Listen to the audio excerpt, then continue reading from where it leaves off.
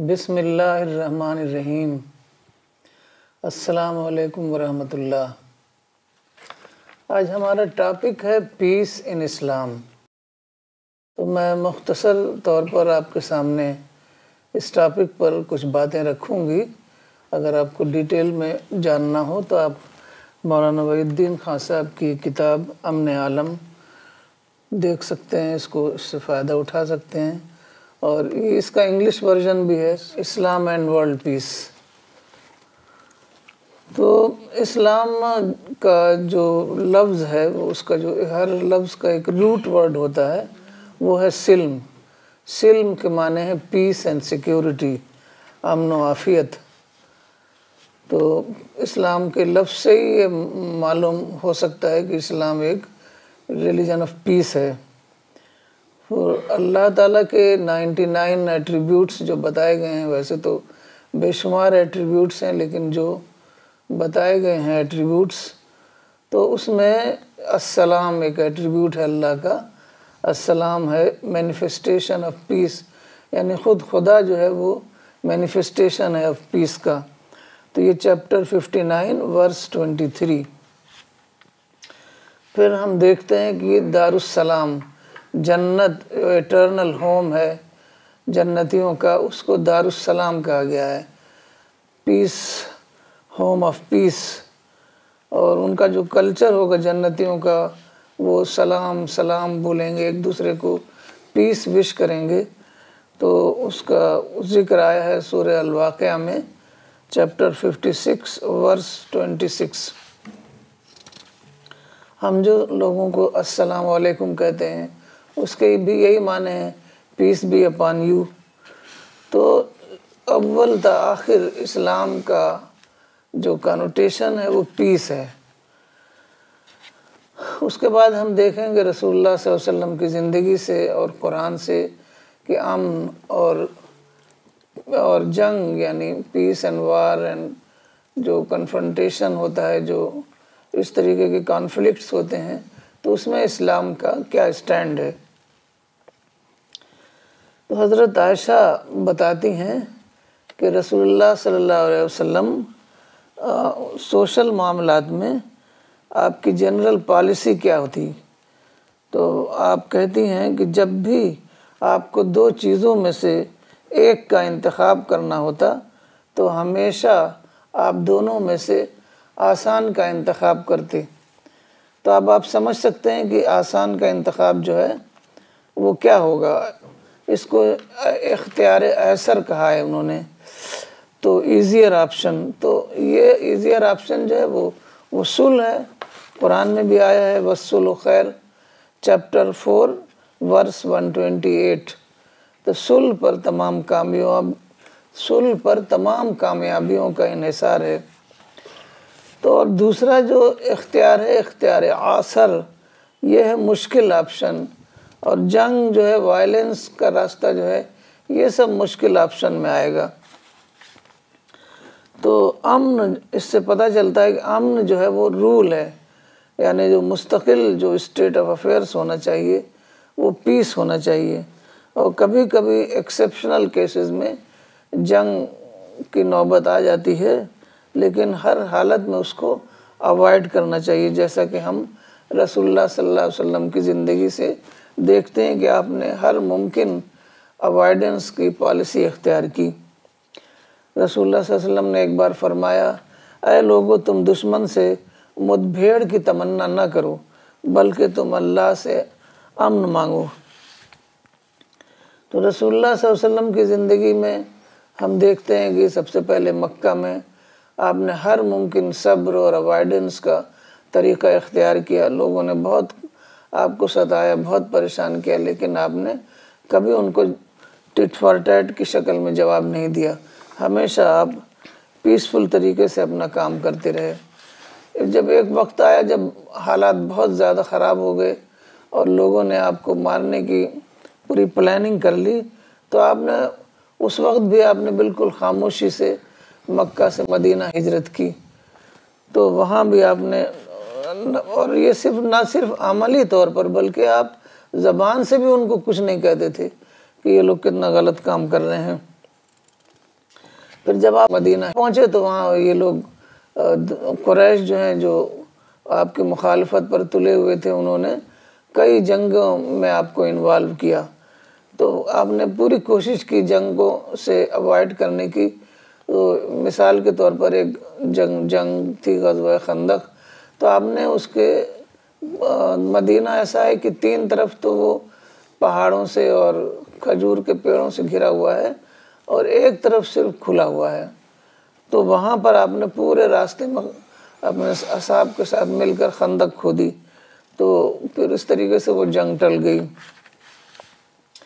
लेकिन फिर भी मसले उलझाते रहे, कुरैश जो हैं और कहीं ना कहीं कुछ ना कुछ कोशिश करते रहे मुसलमानों को जंग में इन्वॉल्व करने की तो आपने फाइनली सुलह हुदैबिया कर लिया। सुलह हुदैबिया जो था, वो नो वार पैक्ट था। दस साल का नो वार पैक्ट। और इसमें आपने तमाम कंडीशंस को एनिमी की एक्सेप्ट करके ये नो वार पैक्ट किया। और नो, इससे इतना ज़्यादा फ़ायदे हुए कि दो साल में तमाम जो है पूरा अरब में इस्लाम फैल गया। और बहुत ही खामोशी से फिर आपने उसके बाद जब जब इतनी ज़्यादा तादाद हो गई तो आपने बिल्कुल पीसफुल तरीके से आपने मक्का को फतह कर लिया, बगैर ब्लड शेड के। तो सबसे पहले हम ये देखेंगे कि इस्लाम का मकसद क्या है। इस्लाम हमसे क्या चाहता है? इस्लाम किस लिए आया है? या हम कह सकते हैं कि हमारा क्रिएशन प्लान अल्लाह ने क्या दिया है हमें? तो वो है, इस्लाम जो है, और इसी तरीके से तमाम मजाहिब हैं जो रिवील्ड रिलीजन है, वो तोहहीद का मिशन है। तो हमको जो अल्लाह से ताल्लुक़ बढ़ाना है, अल्लाह की इबादत में अपनी ज़िंदगी गुजारना है, लोगों के अंदर तस्किया नफ्स पैदा करना है, लोगों के अंदर सुधार करना है, अपनी इनर सेल्फ का सुधार, और सबसे बड़ा जो है कंसर्न उनका खुदा बन जाए। तो अल्लाह से मोहब्बत अल्लाह से खौफ ये सारी चीज़ें जो है वो पीसफुल हालात में ही हो सकती हैं। जंग के हालात में नहीं हो सकती। तो इस्लाम जो कि एक दावती मिशन है तो इस मिशन में हमें आ, मतलब ये मिशन जो है वायलेंस को अफोर्ड नहीं कर सकता। तो हमें हर हालत में मतदिल फ़ज़ा दरकार है पीसफुल एटमॉस्फेयर दरकार है क्योंकि इस्लाम का मकसद है जहनी असलाह रूहानी इनकलाब और इन सब चीज़ों के लिए हमको पुरम हालात की ज़रूरत है। तो हम हर हालत में हर सेक्रीफाइस करके हमें चाहिए कि हम हालात को पुरम बना कर रखें और हर तरह से जंग को अवॉइड करें। तो जंग होती किस लिए है? वो सियासी इकतदार के लिए होती है और सियासी इकतदार जो है वो इस्लाम का टारगेट नहीं है, इस्लाम का मिशन नहीं है। सियासी इकतदार के बारे में आया है, अमर माऊद। ये अल्लाह ताला का गिफ्ट है प्रामिज है। तो ये अल्लाह ताला के जोरिस्डिक्शन में अल्लाह किसको इकतदार देता है, किसको नहीं देता है, किससे इकतदार लेता है, किससे इकतदार देता है। तो ये जो है, उसमें कुरान में आया है कि ईमान और नेक अमल की बेसिस पर अगर अल्लाह चाहेगा तो इकतदार मिलेगा। तो इसका मतलब ये कि हमें अपने अंदर ईमान की स्पिरिट भरनी है। नेक अमल अपना खुद खुद भी नेक अमल पर चलना है और तमाम लोगों को इसी के लिए इसी, इसी यही तहरीक चलाना है तस्किया नफ्स की और तमाम लोगों को दीन की जो स्पिरिट है वो उसके अंदर डालना है। तो ये सारा काम जो है हमको पीसफुल हालात में ही हो सकता है। लेकिन यह है कि कभी कभी जंग का ऐसा मौका आ जाता है तो इस्लाम में जंग जो है दिफा में जायज़ है। लेकिन वो भी हम अगर रसूलुल्लाह वसल्लम की ज़िंदगी को देखते हैं तो वो भी अल्लाह ताला ने मुकम्मल रसूलुल्लाह सल्लल्लाहु अलैहि वसल्लम ने हर हालत में जंग को अवॉइड करने की कोशिश की अवॉइड करने की कोशिश की। तो इसीलिए सिर्फ़ आ, सिर्फ़ दो दिन मतलब हाफ़ अ डे चार जंगें हुई हैं। जैसा कि मौलाना साहब ने बताया अपनी किताबों में सिर्फ़ चार जंगें हुई हैं वो भी हाफ़ अ डे जिसको हम स्कर्मिश कह सकते हैं जंग भी नहीं कह सकते। तो जंग दिफा में आ, हो सकती है और लेकिन उसको भी हर हालत में उसको अवॉइड करना है। और जहाँ तक दुश्मन से जंग जो लोग समझते हैं कि हमारे दुश्मन है, इससे हमें जंग करना है। तो ये तो इस्लाम में बिल्कुल जायज़ ही नहीं है। क्योंकि दुश्मन के लिए कुरान की ये आयत है, भलाई और बुराई बराबर नहीं। बुराई का बदला भलाई से दो, दुश्मन दोस्त बन जाएगा वली हमीम का लफ्ज़ आया है। तो दुश्मन के साथ हमें उसको हम खुदा का पैगाम पहुंचाना है, उसके साथ वेल विशिंग करनी है।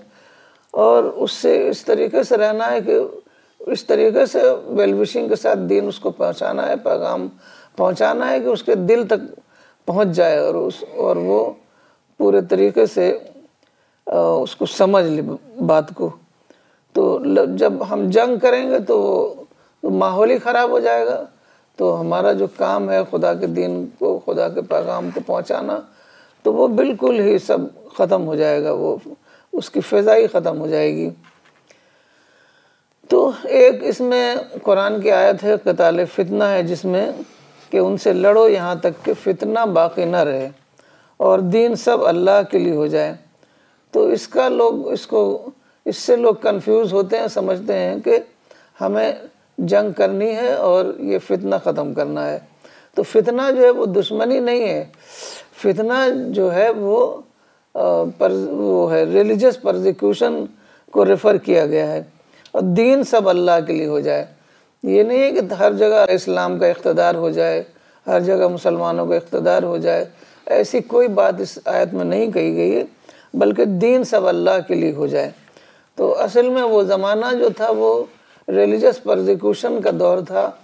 दो बहुत ही पावरफुल एम्पायर्स थी सैसनिड एम्पायर और बाइजेंटाइन एम्पायर तो ये लोग और भी छोटे छोटे बादशाह भी थे, लेकिन सब के सब बादशाह बिल्कुल डिक्टेटर बने हुए थे और मुकम्मल तौर पर हर चीज़ उनके इख्तियार में होती थी। किसी किस्म की आवाम को आज़ादी नहीं थी। तो इसी को हेनरी प्रेन ने एब्सोल्यूट एम्पीरियलिज्म तो उसने हेनरी प्रेन ने कहा है Islam change the face of the globe the traditional order of history was overthrown तो ये जो था एब्सोल्यूट इम्पीरियलिज्म इसकी वजह से ना दुनिया की कोई तरक्की हो रही थी, ना दीन की। क्योंकि जो कुछ था वो बादशाह के पास था, उस ज़माने में सब कुछ जो था वो लैंड से रिलेटेड होता था लैंड बादशाह के पास था। तो और बादशाह अपने को बताता था कि मैं देवताओं की औलाद हूँ, मैं खुदा हूँ, जैसे फ़िरौन ने कहा, अना रब को मुल्ला तो बादशाहों ने अपना दर्जा इतना ऊँचा कर रखा था कि अवाम आवाम की कोई हिम्मत ही नहीं पड़ती थी कि बादशाह के ऊपर कोई तनकीद करते, बादशाह की मर्ज़ी के ख़िलाफ़ चलते वो। तो वो कोई भी कोई भी काम नहीं हो सकता था बादशाह की इजाज़त के बगैर। तो इस तरीके से जिसको कहते हैं power corrupt and absolute power corrupt absolutely तो वो बादशाहों का हाल था। इसीलिए जब भी कोई रिफार्मर, कोई मैसेंजर खुदा का उठता तो लोग सख्ती से उसको दबा दिया जाता, उसको ख़त्म कर दिया जाता। बड़े बड़े पैगंबरों को कत्ल कर दिया गया, ख़त्म कर दिया गया। तो कोई काम नहीं हो पाता था, ना कोई तरक्की हो पाती थी, क्योंकि हर चीज़ मुक़दस थी और हर चीज़ को एक्सप्लेन करते थे सुपरस्टेशन के हवाले से। तो अब बादशाहों को ये सब चीज़ें बहुत ज़्यादा मुफीद मतलब थी, उनको सूट करती थी। वो अपने को बता देते कि हम देवताओं की औलाद हैं। तो आवाम को हिम्मत ही नहीं पड़ती थी कि उनके ख़िलाफ़ बगावत करें। तो इस वजह से देव, बादशाहों को भी यही मज़हब सूट करता था कि सुपरस्टिशन बेस्ड और कोई काम नहीं हो सकता था। और अल्लाह ताला का जो प्लान था कि इंसान को मजहबी आज़ादी मिले इंसान को हर किस्म की आज़ादी मिले, क्योंकि इंसान इस दुनिया में आया है अपना टेस्ट देने के लिए। जब उसको आज़ादी ही नहीं होगी तो टेस्ट उसका क्या होगा? तो इस तरीके से ये अल्लाह ताला का मंसूबा था और इस मंसूबे को अल्लाह ताला ने मदद करके, रसूल की और असाब रसूल की मदद करके इस मसले को ख़त्म किया। तो इन तमाम दोनों एम्पायर्स को ख़त्म किया गया जो जबरी निज़ाम था वो ख़त्म हो गया। अब जो नया ज़माना है मतलब इस्लाम ने एक प्रोसेस शुरू कर दिया था, लेकिन अब वो प्रोसेस कलमिनेशन तक पहुँच गया, उसकी तकमील हो गई और अब मुकम्मल आज़ादी है दुनिया में। तो अब जो है, तमाम इदारे जो हैं, हर हर तमाम आज़ादियाँ इंसान को मिल गई हैं। और जो पॉलिटिकल पावर है, वो तो सिर्फ़ दस परसेंट को कवर करता है, जैसे इंफ्रास्ट्रक्चर वगैरह है। बाकी हम हर किस्म के एजुकेशनल इंस्टीट्यूशंस रिलीजियस इंस्टीट्यूशंस मस्जिद मदरसे एन मीडिया और कम्युनिकेशंस का जो पूरा जो फ़ील्ड है और इंडस्ट्री है तो हर काम हम कर सकते हैं। कोई भी किस्म की कोई रुकावट नहीं है। तो इस तरीके से हमें समझना चाहिए कि हम एक नए नए दौर में हैं। अभी आज ही खबर आई थी कि अमेरिका में एरिज़ोना स्टेट यूनिवर्सिटी में बहुत ही ब्यूटीफुल यूनिवर्सिटी बहुत बड़ी यूनिवर्सिटी है, उसमें बुक स्टॉल लगे हुए हैं प्रोग्राम के तहत तो सीपीएस ने भी बुक स्टॉल लगाया है।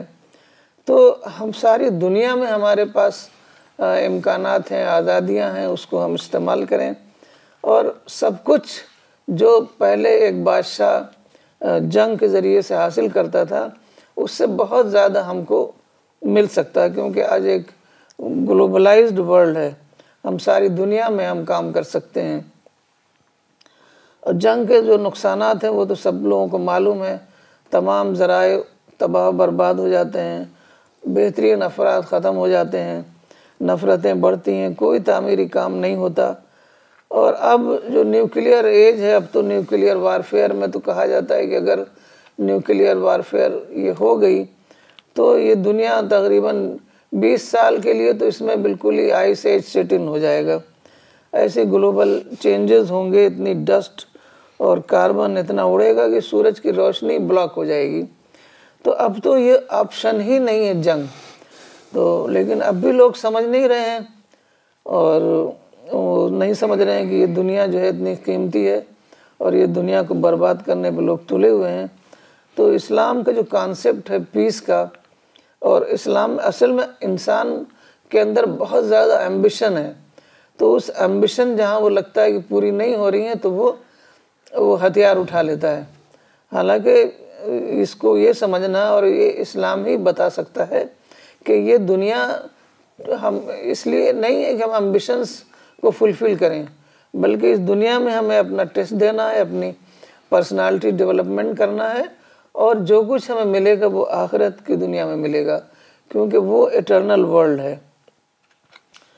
तो यही सब लोगों को बताना है और लोगों को सही रास्ते की हिदायत देनी है। उनको इस्लाम का पैगाम पहुंचाना है कि अमन के फ़ायदे बहुत ज़्यादा हैं। तमाम तामीरी सरगर्मियाँ जो हैं और वो अमन ही के ज़रिए से हासिल होती हैं। तो दुनिया की भी तरक्कियाँ और दीन की भी तरक्कियाँ। तो दुनिया में देखिए कि जब तोहीद आया, जब एक खुदा की परस्तिश हुई, जब सुपरस्टिशन ख़त्म हुआ, तभी सारी तरक्कियाँ जो हैं दुनिया में आईं। इसको मौलाना साहब ने डिटेल में लिखा है अपनी किताब, Islam the creator of the modern age, इस्लाम दौर जदीद का खालिक। तो ये जो है इस्लाम का जो पैगाम है अमन का बा, बामी वेल विशिंग का और एक दूसरे की खैर खाई एक दूसरे को जो है इस खुदा का की हिदायत का रास्ता दिखाना। तो ये अब नया ज़माना आ गया है।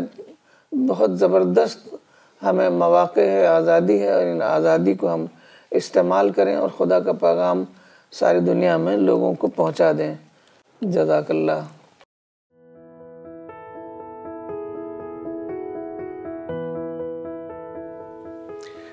Assalamu alaikum. Maulana Waiduddin Khan Saab prepared a repository of wisdom in the form of literature and multimedia material demonstrating the relevance of Islam in the modern age.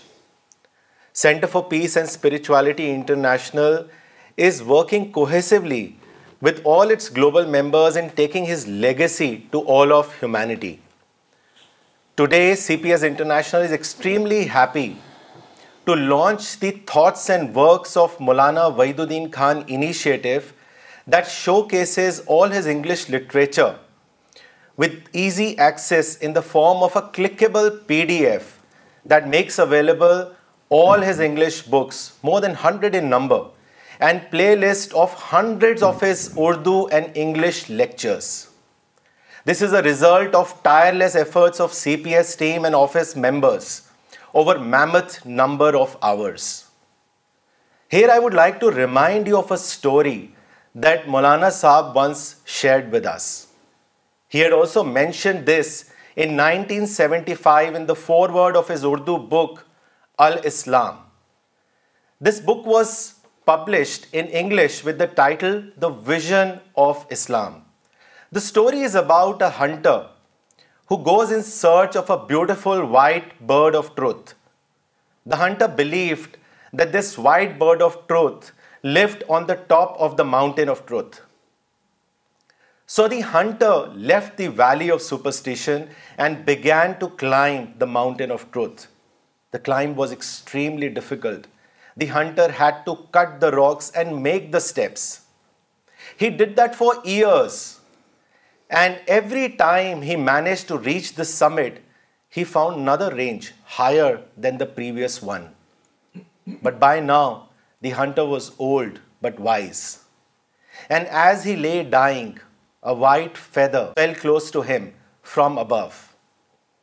The hunter was convinced that the bird he sought existed on the next range. Even though he could not reach to the bird of truth, he died in solace, thinking that those who would follow him would not have to cut the first steps.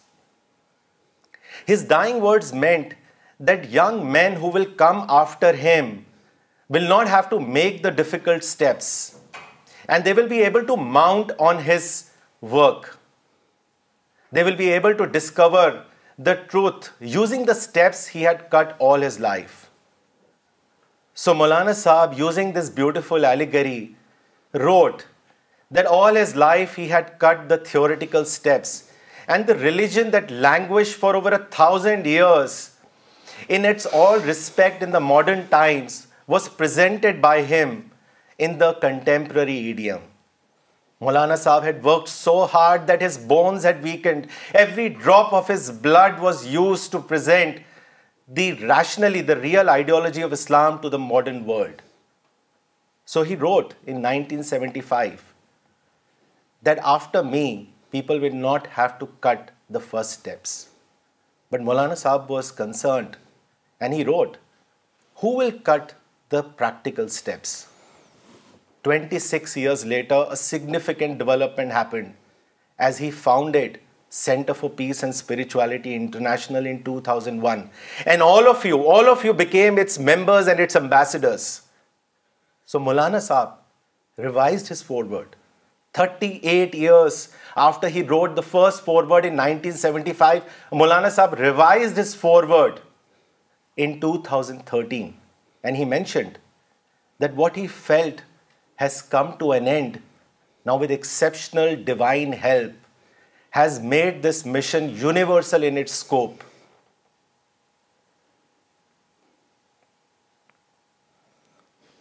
And he published and he wrote that enormous literature is being published by the mission in national and international languages.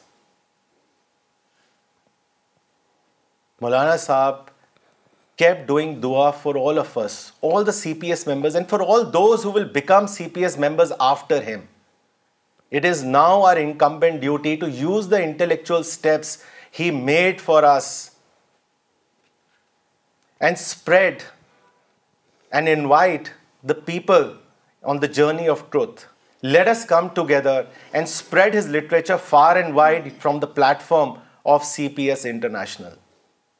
May God accept our efforts and may God give us success.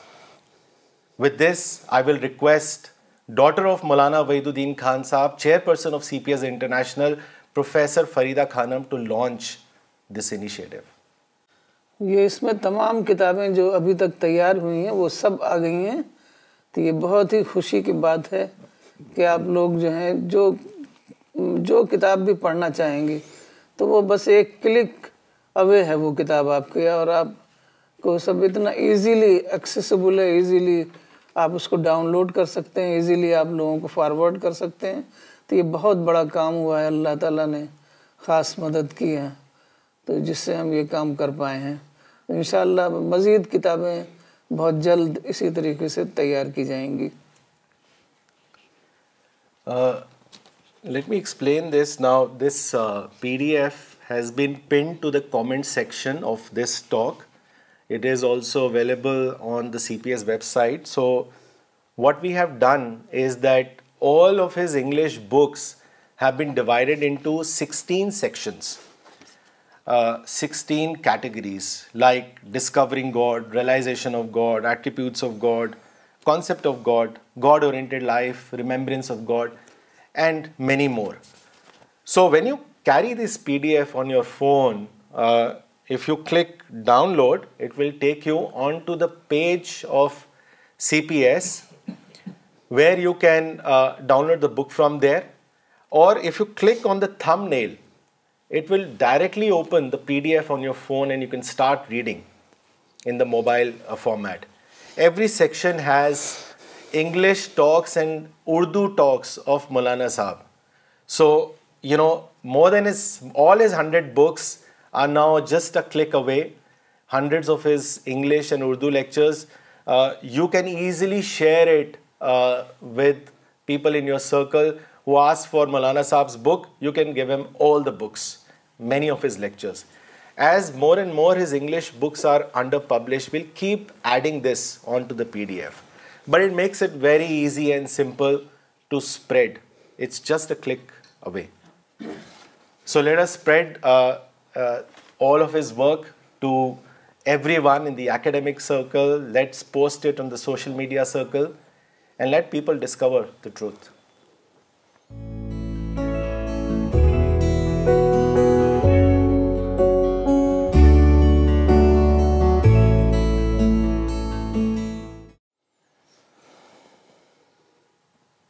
आप अब आज के कुछ comments और सवाल आए हैं वो मैं लेना चाहूँगा।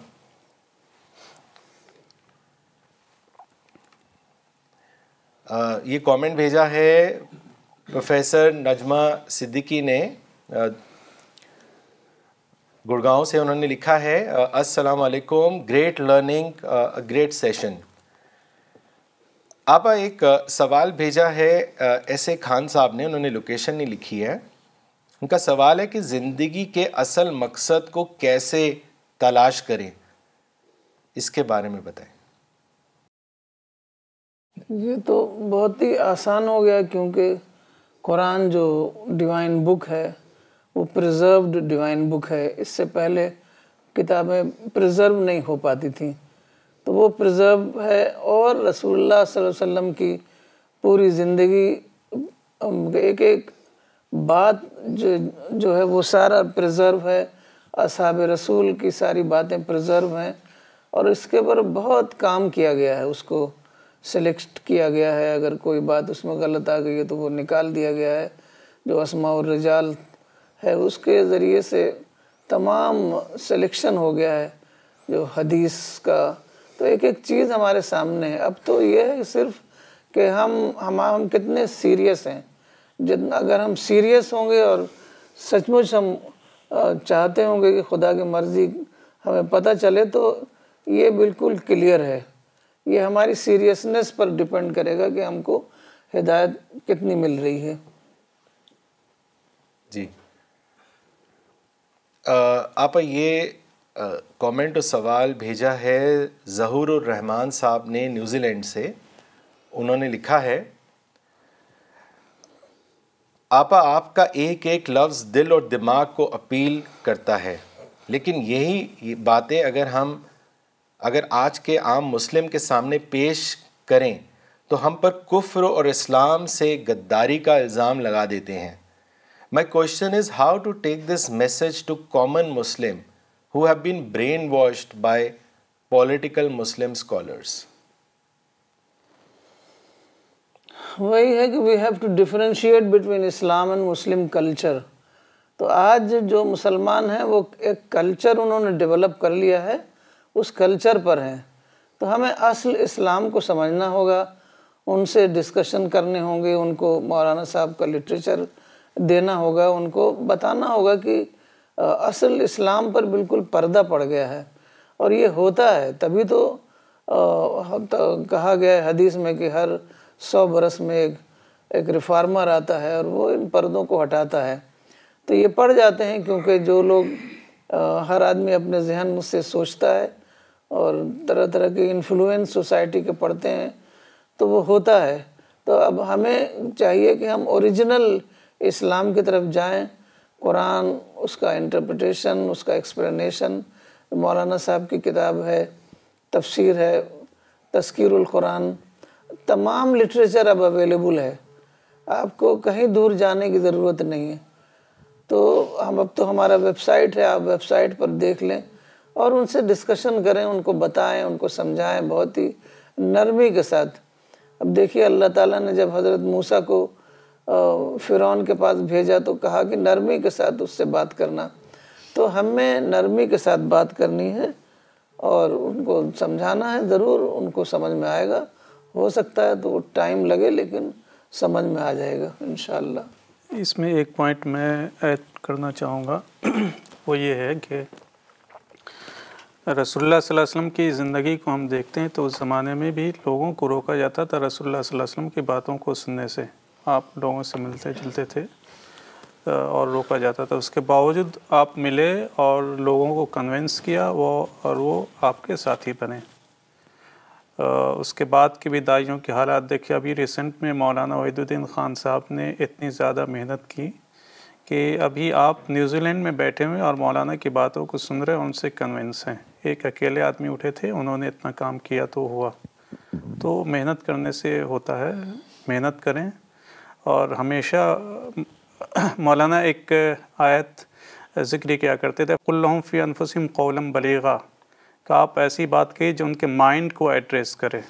माइंड को एड्रेस करने वाली बात होनी चाहिए जो सुरनसा की आयत है। और उसी तरीके से एक और चीज़ मौलाना ये कहते थे, और वो इस्लाम का उसूल भी है कि हमारा काम पहुँचा देना है। अगर वो बात नहीं माने तो एटलीस्ट हमारी तरफ़ से काम हो गया। अल्लाह ताला ने हमको जो ज़िम्मेदारी दी थी वो अदा हो गई कि हमने पहुँचा दिया उनको। दुआ भी करने चाहिए उसके साथ। आप कुछ कमेंट्स और आए हैं। मिस कुरुतुलेन ने श्रीनगर से लिखा है congratulations for launching the books of Maulana Sahab in English handing over the treasure of knowledge and wisdom to people is a great job done by CPS. Firoz Rasid Sahab ने लिखा है अल्लाह हम सबको दीन का दाई बनाए। आमीन, सुम्मा आमीन। मिस रेशमा परवेज़ ने लिखा है in you will be among those who will be under the shade of the throne of Ar Rahman on the day of judgment आप ये सवाल पूछा है मुश्ताक कुरैशी साहब ने, जो मुंबई को बिलोंग करते हैं, उन्होंने लिखा है कि do you think masses are away from Islam why is it that मुस्ल today Muslims are link to all the negative events असल में इसमें मीडिया का बहुत दखल है। लोग जो हैं वो अखबार पढ़ते हैं, ख़बरें देखते हैं और उससे अपनी राय बनाते हैं।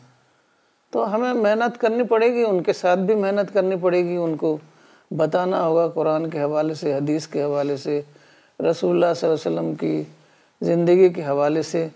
तो बताएँगे तो समझेंगे उसमें अब ज़रूरी नहीं कि हर आदमी जो है वो समझ ले, लेकिन बहुत सारे लोग ऐसे निकलेंगे जो आपकी बातों को समझेंगे, उसको पकड़ेंगे। तो असल में हम लोग पूरी मेहनत भी नहीं कर रहे हैं ना तो इसके लिए बहुत मेहनत की करने करने की ज़रूरत है। जब बिगाड़ इतना ज़्यादा है तो उसी हिसाब से मेहनत भी करनी पड़ेगी। तो लोग घर घर ऐसे प्रोग्राम करें, कम से कम महीने में एक मीटिंग करें तो वो इस तरीके से थोड़ा टाइम लगेगा, लेकिन हम एक तहरीक चला सकते हैं पुरम तरीके से और लोगों को समझाने की खाली ये बात कह देना कि वो लोग समझ नहीं रहे हैं, ये काफ़ी नहीं है। अब रसूलुल्लाह वसल्लम की ज़िंदगी में हर तरह की मिसालें हैं, वहाँ भी लोग नहीं समझ रहे थे, लेकिन आप जो है, किसी तरीके से आपने कोई भी अपॉर्चुनिटी को छोड़ा नहीं, जहाँ आपको मालूम होता कि कोई नया आदमी मक्का में आया फ़ौरन आप उसके पास जाते और उसको पैगाम पहुँचाते। हालाँकि लोग आपको पत्थर मारते थे, तब भी आप उसको जाते और पैगाम पहुँचाते। ये नहीं कहते थे कि नहीं, माहौल अच्छा नहीं, हम नहीं ये काम कर सकते। तो यही हमें भी करना पड़ेगा अगर हम चाहते हैं कि रसूलुल्लाह वसल्लम के उम्मती करार पाएँ, हमको उसका सवाब मिले। आखिरत में हमको रसूलुल्लाह वसल्लम के साथ जगह मिले, जन्नत में जगह मिले तो हमें आपके फुट स्टेप पर ही चलना पड़ेगा और इसी तरीके से काम हो सकता है। रसुल्ला की ज़िंदगी कैसे रसुल्ला ने काम किया उसको एक मिसाल मैं देना चाहूँगा। और उसको समझने के लिए कि वो किस तरीके का काम था कि आज हम देखते हैं कि गली कूचों में सब्ज़ी बेचने वाला आवाज़ लगाता रहता है, सब्ज़ी ले लो, फल ले लो, आम ले लो, कैसे लगाता रहता है। रसुल्ला के बारे में आता है कि जब वहाँ जो बाज़ार लगते थे, मार्केट स्पेशल लगती थी मौसम की तो उसमें जाते और लोगों को कहते, अरे लोगों ला इला कह दो, कामयाब हो जाओगे। कहते हुए जाते थे। हर एक सुनता था, भीड़ लगा देता था और उस और रसुल्ला के पीछे पीछे आपके चचा अबू लहब आवाज़ लगाते हुए जाते कि ये झूठा है, इसकी बात नहीं मानना। मगर रसुल्ला उसकी तरफ़ तवज्जो नहीं देते और अपना काम करते हुए जाते थे। तो काम ऐसे धुन जो होती है, काम की संजीदगी जो होती है, वो इस मिसाल से समझा जा सकता है, कैसे काम करते थे। ज़रूरी नहीं कि वही नोयत हो हमारे पास हम दूसरे तरीके भी यूज़ कर सकते हैं, लेकिन काम का में संजीदगी होनी चाहिए तो इंसानों तक बात को पहुंचाई जा सकती है। ज़हूर रहमान साहब ने न्यूजीलैंड से लिखा है जजाकल्ला C P S for sharing this gift doctor Safina Tabassum ने सहारनपुर से लिखा है may Allah accept the efforts of C P S international G H Nabi Sahab ने श्रीनगर से लिखा है uh, कि जम्मू कश्मीर में अवेलेबल करा दीजिए बुक्स तो अभी जैसे आपा ने लॉन्च किया है पीडीएफ को तो आप उसके ज़रिए सारी किताबें हासिल कर सकते हैं। लेकिन अगर आपको हार्ड कॉपीज़ चाहिए तो आप www.goodwordbooks.com से आप हार्ड कॉपीज़ भी हासिल कर सकते हैं। तो आपको ये जम्मू श्रीनगर में काफ़ी किताबें पढ़ी जाती हैं मौलाना साहब की और काफ़ी किताबें भेजी भी जाती हैं। तो आप उसको हासिल कर सकते हैं दोनों ज़रियों से। आ, उसके बाद कमेंट आया है मिस रोमा वानी जी का श्रीनगर से उन्होंने लिखा है इनशाला people will one day wash out the negative cultural social customs with the strength of the teachings of Islam आप अगला सवाल पूछना चाहूँगा ये उन्होंने लोकेशन नहीं लिखी है, शाहीन अली ने भेजा है उन्होंने लिखा है जजाक अल्लाह for the talk my question is where is the failure age today even so called civilise state are going for wars like Russia USA तो कहाँ पे गलती हो रही है? कहाँ पे फेलियर है कि आज नेशंस आपस में लड़ रहे हैं? यही यही फेलियर है उनको खुदा का क्रिएशन प्लान नहीं मालूम। वो दुनिया में सब कुछ हासिल करना चाहते हैं, जबकि दुनिया इसके लिए बनाई ही नहीं गई है कि हमारे तमाम एम्बिशंस फुलफिल हों यहाँ पर।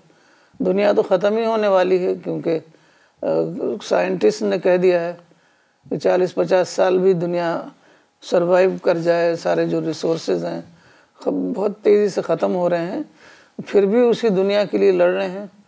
तो ये तो बहुत ही ज़्यादा नासमझी की बात है। हम, अब हमारी ज़िम्मेदारी और ज़्यादा होती है कि हम उनको इस्लाम का पैगाम पहुँचाएँ कि असल ज़िंदगी का मकसद क्या है और हमको मरने के बाद हमारी अकाउंटेबिलिटी है, हमें खुदा के आगे जवाब दे देन, जवाबदेही करनी है और वहाँ जन्नत है, जहन्नम है। तो यही समझ में आता है कि उन तक भी इस्लाम का पैगाम पहुँचना चाहिए।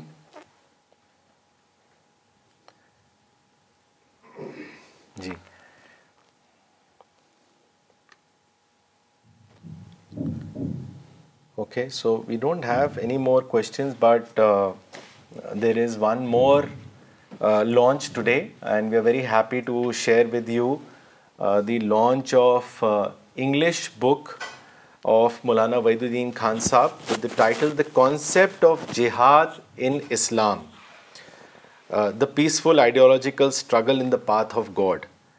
And uh, this book is the Urdu translation of Islami Jihad. It is now available on CPS website. Uh, you can download the book and you can start circulating it. Uh, to uh, uh to launch this uh, book, I will request uh, Dr. Sania Stain Khan Saab to come here and launch this book, The Concept of Jihad in Islam. बिस्मिल्लाहिर्रहमानिर्रहीम मुझे बहुत खुशी हो रही है इस किताब को लॉन्च करते हुए द कॉन्सेप्ट ऑफ़ जिहाद इन इस्लाम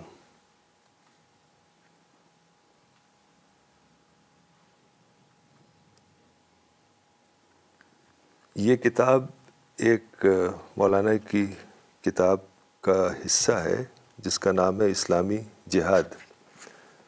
मौलाना ने जिहाद का जो कॉन्सेप्ट है, उसको पहली बार इतना वाज किया है कि जिहाद का मतलब जंग नहीं है। बल्कि एक पीसफुल आइडियोलॉजिकल स्ट्रगल है। चूँकि वो जिस ज़माने में प्रॉफिट मोहम्मद और सहाबा थे तो वो वो दौर एक क्लोज्ड सोसाइटी थी ट्राइबल कल्चर था और इनटॉलरेंस था। और आज़ादी नहीं थी, जहनी आज़ादी नहीं थी। तो लोग लड़ते थे, अगर कोई पॉजिटिव चीज़ भी आप पेश करें उन्हें तो उस वजह से कुछ जंगें बहुत ही मामूली अंदाज की हुई जो आज आपा ने जिसके ऊपर रोशनी डाली। तो उसकी वजह से लोग ये समझते हैं कि हमें आज भी जंग करनी है और जंग करके हुकूमत कायम करनी है, जो कि सरासर गैर इस्लामी तस्वुर है। जिहाद का मतलब है कि utmost struggle towards spreading the word of God यानी कुरान के पैगाम को सारे लोगों तक पहुँचाने की कोशिश आखिरी हद तक करना यही जिहाद है। तो मैं बहुत ही खुशी है मुझे इस बुक को लॉन्च करते हुए और अल्लाह ताला उन सब लोगों को अजर अजीम अता करे जिन्होंने इस काम में हिस्सा लिया। वाखर दावाना अलहमदिल्ला रबालम Thank you, Dr. Saab. Uh, okay, we will end today's session. We'll be back next Sunday, 10.30 a.m. Thank you.